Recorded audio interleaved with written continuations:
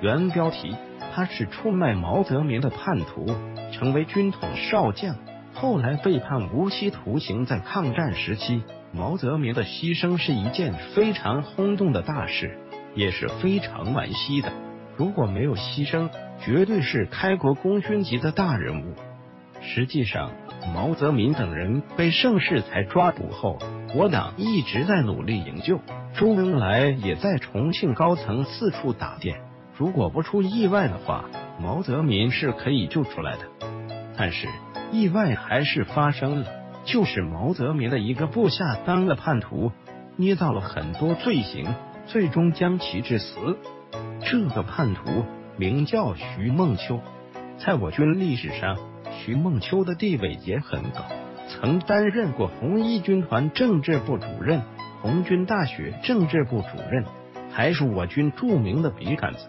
连毛主席都对他写了文章，非常佩服，经常跟他谈论时政历史，每每谈到深夜。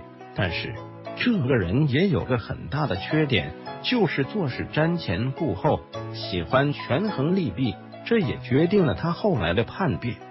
早在一九二四年，徐梦秋从安徽老家来到上海，正好黄埔军校刚刚成立。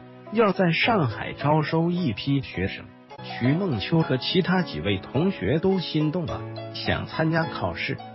可就在这个时候，徐梦秋接到了家里的一封信，说他父亲病重，要他回家照顾。于是徐梦秋就错过了这次考试的机会，而跟他一起的七名同学最后都考上了。按理说，他回家尽孝未尝不可。这也是一个很正当的理由，但是熟悉他的人在后来回忆说，徐梦秋为什么决定回家，是因为他了解到黄埔军校的学员都要上前线打仗，随时都有可能牺牲，于是他就不想考了，借回家照顾父亲的机会溜了。到了一九二七年，南昌起义爆发，徐梦秋当时已经参军。他所在的部队也参加了这场起义，但遗憾的是，徐梦秋却没有参加，原因是他病了，正在住院。那么他的病到底有多重呢？其实也没多重。起义开始前，部队有人向他通报要起义的事，可是他思来想去，总感觉这个事不靠谱。如果将来起义失败，自己就会受牵连。于是。他干脆待在医院，说自己的病还没好，就不参加。后来，徐梦秋去了中央苏区，最高做到了红一军团政治部主任，成为林彪的助手。看来这个人的能力还是非常强的。不过，在长征途中，徐梦秋的双腿被严重冻伤，最后不得不截肢，失去了双脚，这也让他的军师梦彻底破灭了。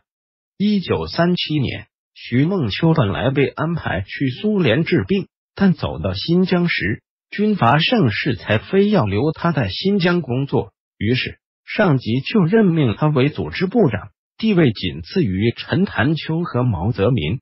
一九四一年，徐梦秋从苏联装完假肢回到新疆，但就在这个时候，皖南事变爆发，盛世才为了向蒋介石示好。便炮制了所谓的“四一二”暴动案，陈潭秋、毛泽民等人都被关进了大牢，徐梦秋也在其中。